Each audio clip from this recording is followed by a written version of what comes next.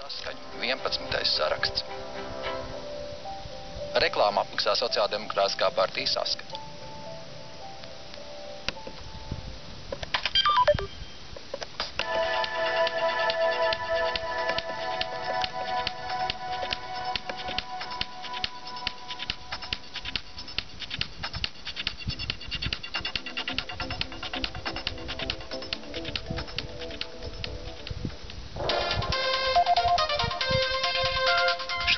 Monopolā atkārtosim Aritas Grīnbergas sarunu ar kino operatoru un režisoru Raiti Valteru. Bet vispirms ziņas.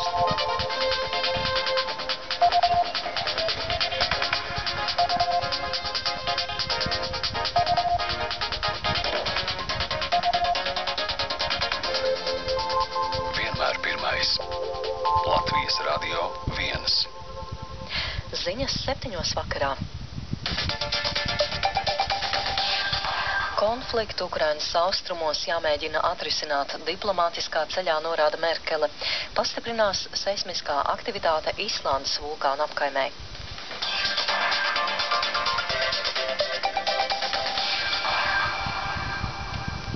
Šodien Rīgā tika ielikts pamatakmens Baltijas ceļam veltītam piemineklim.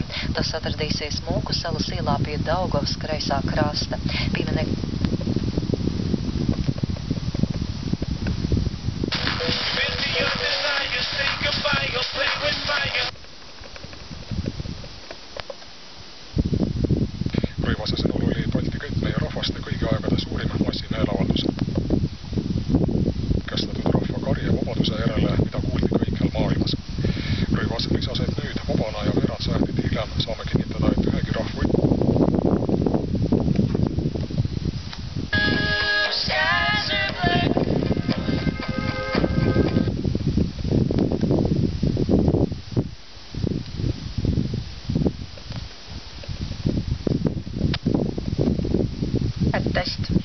ja meil on täna siin stuudios ka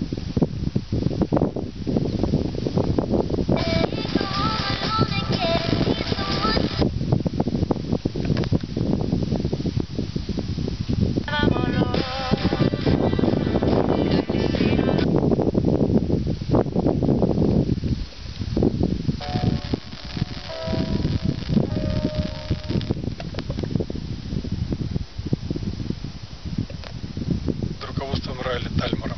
Напомним, в ходе политической демонстрации, организованной народными фронтами стран ВАЛ,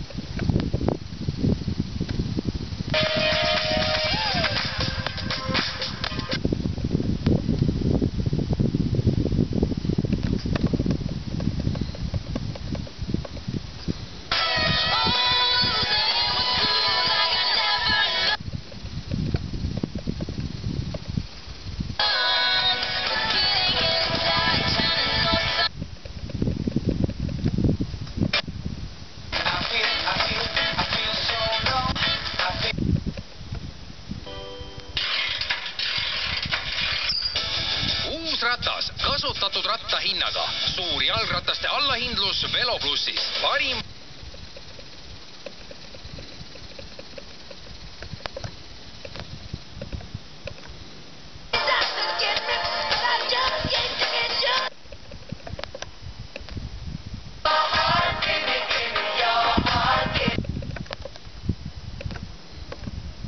finantsprognoosidega. Sule rõhutas, et Haigekassa võimalused on järgmisel aastal väiksemad kui varem prognoositud ning üks läbirääkimiste põhiküsimus ongi, kuidas muutunud olukorras jä-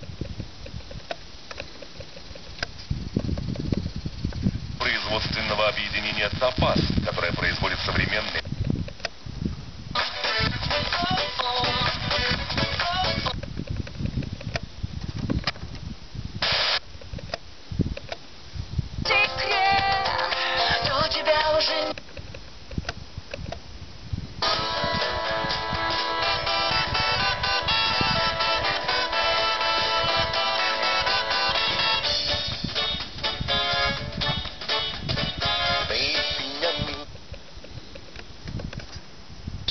Progressive House enamasti. näiteks chill out'iga kindlasti. Chill out'i ka. vulkaanipurse on alanud. liustikualune Barbarpunga vulkaan aktiviseerus. vaid mõni minut varem tõstis Island lennuturvalisuse ohutaseme punasele, mis tähendab, et vulkaanipurse võib põhjustada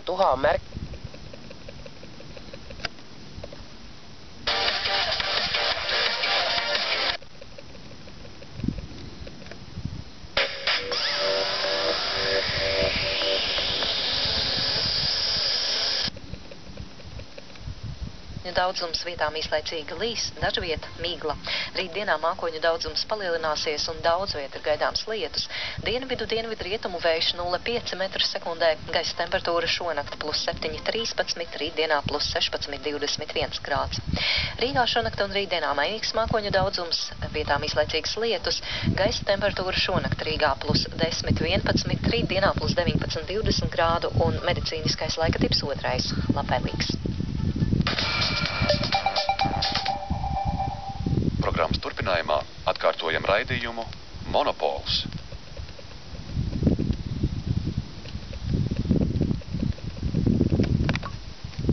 Delada. Mutta nyt että mä olen neudlikki niin ja mä olen Rahul Kivimäellä, kumpi sinä kuin Voltemar Pantso.